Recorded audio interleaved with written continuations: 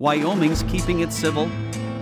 It's illegal to wear a hat that obstructs someone's view in a theater or place of amusement.